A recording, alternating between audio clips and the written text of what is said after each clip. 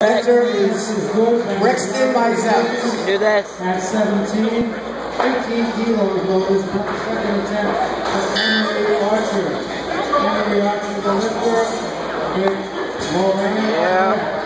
After 18 kilos on there. And that's a good lift for Brixton.